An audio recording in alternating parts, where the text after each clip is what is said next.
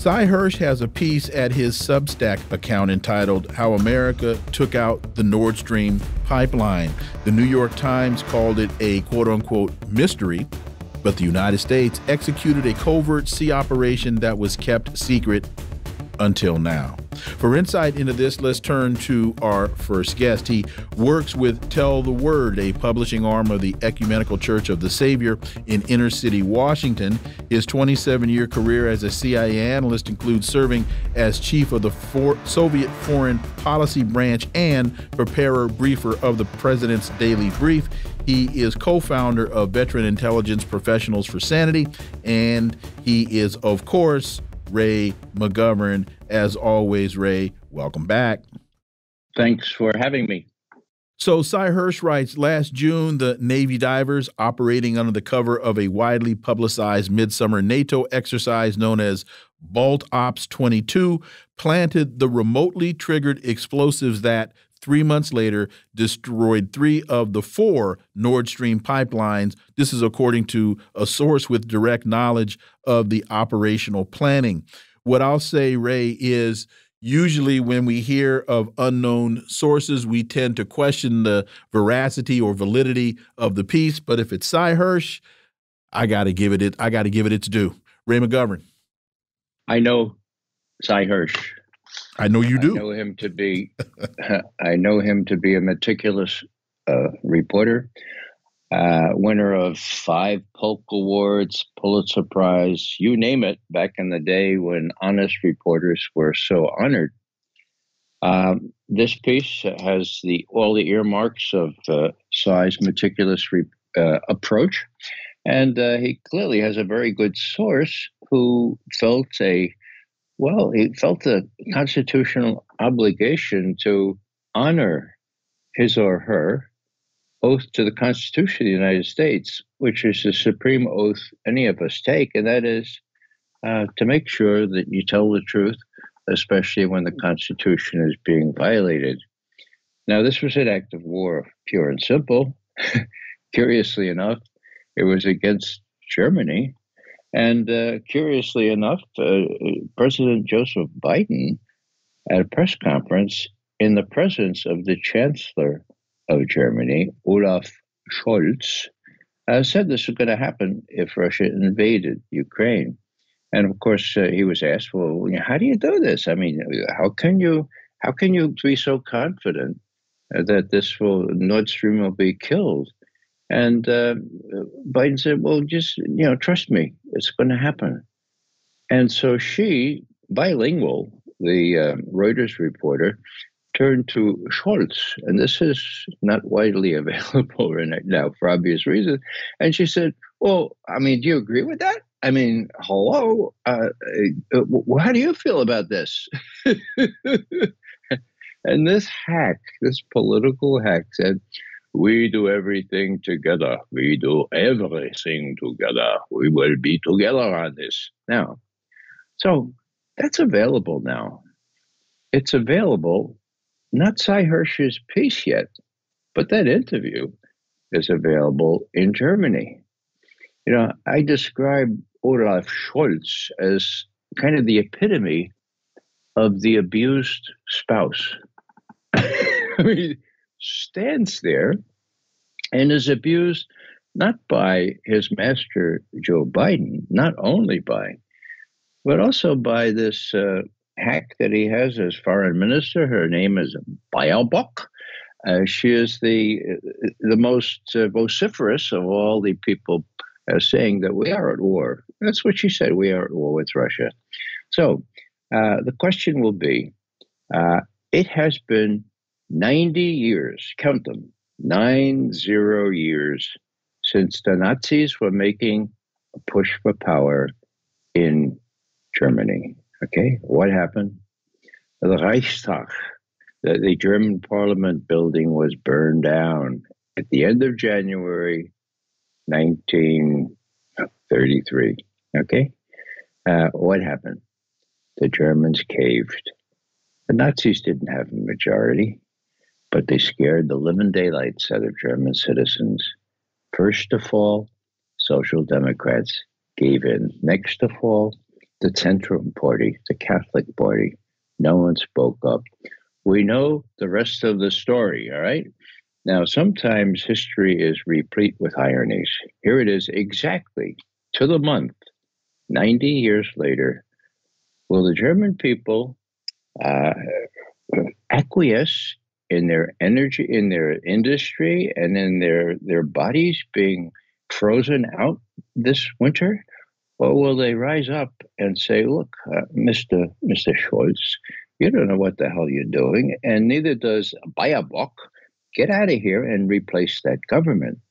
Now, key to all this, of course, is the fact that I already mentioned Sy Hersh's piece has not been published in Germany. The New York Times hasn't published it. The major media haven't published it. Where did Sy have to publish this? On Substack. Now, at one point, he had a friend at the uh, German newspaper Die Welt, and they published an incredible expose on Syria. It turned out to be true, but Sy couldn't get it published anywhere else. He used to publish in the New York Times, then in the New Yorker. He has been banned. So the question is will it be possible to inform the to inform not only American people, but in, more important, the German people that they've been had. Okay, this is this is depriving them of livelihoods and industry. Will they, unlike 90 years ago, act like adults, stand up and say, "Now, uh, we've had it, uh, blowing up our our gas pipeline. That's too far. We're going to look. We're going to look at things differently." first and foremost our involvement in Ukraine. Ray, um, domestically here, uh, in this uh, piece, if it is to be believed, which I believe it, and it certainly warrants a, a, an internal investigation here, the Biden administration admitted that what they were doing was an act of war, which means they understood that only Congress could, in fact, constitutionally um, clear that action. And they, with malice and a forethought, took action to mitigate their accountability to the Constitution and Congress. A and Joe Biden was the head guy there. He was the man that eventually they decided rather than just put explosives on it, apparently Biden wanted to give the word for when it was done. This is an impeachable offense. This is a requirement of Congress to act on it. Your thoughts on um, Congress not acting on it? I don't suspect they will, and and and if there will be ultimately in the long term any ramifications for that. Your thoughts on that anyway, uh, Ray? Well, again, um, if the uh, if the big tree falls in the forest and there's no one around to hear it fall, does it make a sound? It is incredible how the New York Times. Uh, actually, I've taken to calling uh, the New York Times the new journal, the, the new yellow, uh, the new Yellow Times uh, after yellow journalism, which uh, most people know uh, is uh, you know is what you do when you and when you exaggerate or slant things beyond the truth. The the new Yellow Times can prevent this from being heard and prevent more more important now uh, corroboration from being voiced. We have corroboration now from Gil Doctorow in in Brussels, Larry Johnson in Tampa. It's coming in. And so I applaud the source that told Sy Hersh all this information. I believe it implicitly.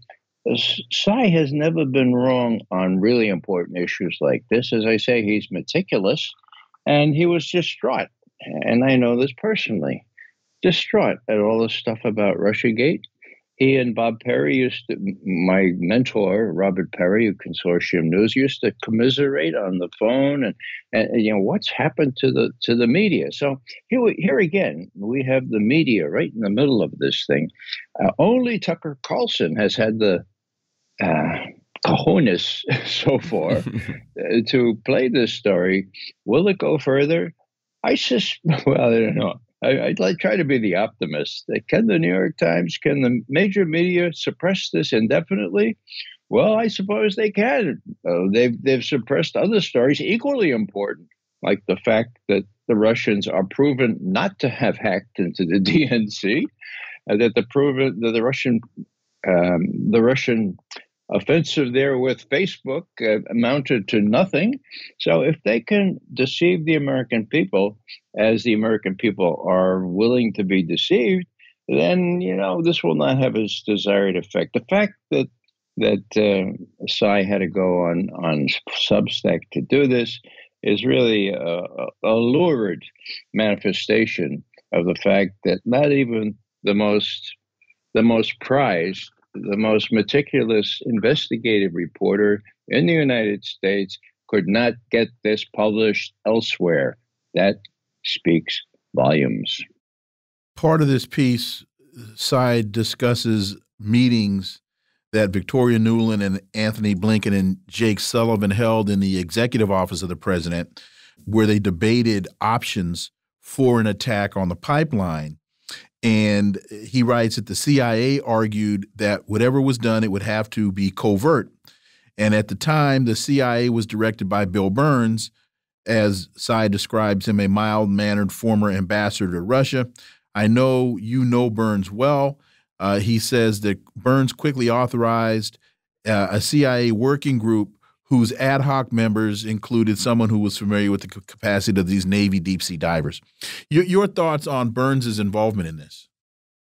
I do know Burns. Um, he let me, well, in effect, shame James Clapper by pointing out to an audience um, that Clapper had admitted that he uh, that he uh, fudged the evidence on weapons of mass destruction before the attack on Iraq. Uh, Burns was, uh, some of us hoped that he might be the adult in the room, but Burns is the epitome of a cog in the, in the wheels of the system. He's a State Department type. He got to be number two in the State Department, and you don't get to be number two in the State Department unless you salute. Uh, whether it's a harebrained scheme or not, you salute. Well, here you have the epitome of a harebrained scheme. Uh, did uh, did Burns salute? Yes. As soon as the president says do it, he turned to his people and he said, "Do it." And they they rubbed their hands and said, "Oh man, this is going to be fun. We can do this. We can work with the Navy. We can do it." Okay. Now, what did the analysts say? Well, Burns didn't give a rat's patootie about what his analysts say. But Sy Hersh includes the notion that this analyst said, yeah, this is really crazy. This is really stupid. This is going to come back to bite us. That's what we always used to say on cockamamie schemes like this. What's the point here? The point here is that the operations people at CIA get all the money, get all the attention, and get all the influence over whatever director comes in. And another side lesson here is that if you're going to pick a director for the CIA, you don't go to the State Department for a yes man. You don't go to the Congress for somebody who compromises, for God's sake. You, you, you find somebody like Admiral Stansfield Turner, four star, who had made his own his own mark on life and was not going to take any crap from anybody else. Is going to tell the truth. He's the last guy we had like that uh, God forbid we keep having these, uh, well, these bureaucrats that salute when the president says jump. One thing I, I did want to ask you, I had some thoughts. You know, the last interesting the last uh, sentence where the, you know whoever the source is says oh yeah they did this thing. It was a brilliant operation blah blah blah. He says the only flaw was the decision to do it. Here's what it seems to me. I'm guessing it seemed like it came from somebody in the Pentagon. Based on the knowledge, they basically said, you know, these idiots in the uh, executive department, that not a good move. Ah, CIA was in, not real smart. Safe uh, State Department, ah, bad move. The Pentagon wasn't mentioned. And there are generally some, I have heard recently that there are some pragmatists. It almost seems like there may. Well, anyway, your thoughts on the origins of this, if you have any. Well, all I can say is that Sy Hersh has proven for about 40 years now uh, that he is a trusted journalist. And when someone, and I suspect it, you know, it aptly pertains to this particular source, when someone sees that an act of war has been has been committed by our government against all the against the Constitution, maybe maybe not against the U.S. designed rules based order. but you know, we all swear an oath to protect and defend the Constitution of the United States against all enemies, foreign and domestic. Now, this guy took that seriously. I suspect he went to that little corner in that bar where Sy meets his, and I know where that is, meets his sources, and he told him this whole story. Sy said it only took him three months. I, I believe that. And American people, it's eminently believable. The question is the fallout and whether whether the mass media can prevent this story from seeking into the consciousness of Americans who have been taught, who have been brainwashed over the last seven years, okay? Seven years now to hate Russia, okay?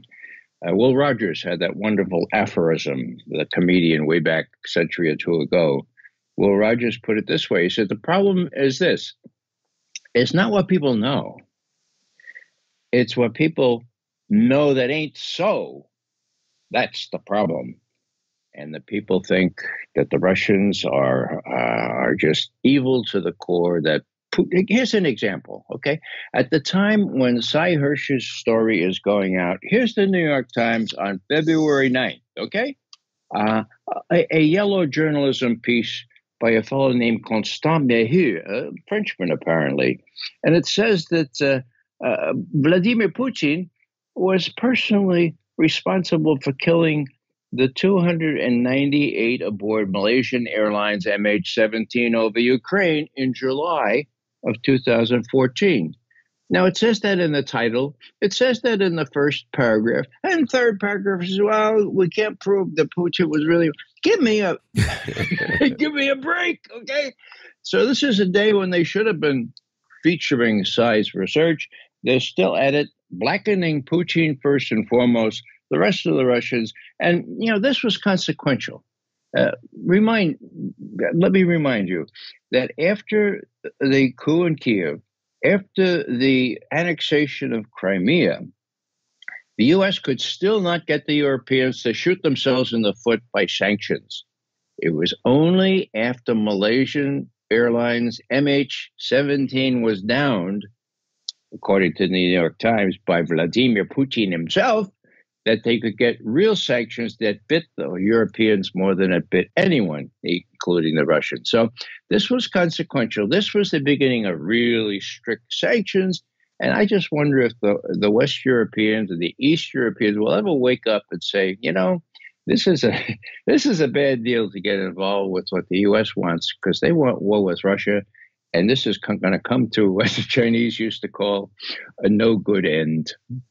Ray McGovern, as always, thank you so much for your time. We really appreciate that analysis and we look forward to having you back. Hey, most welcome.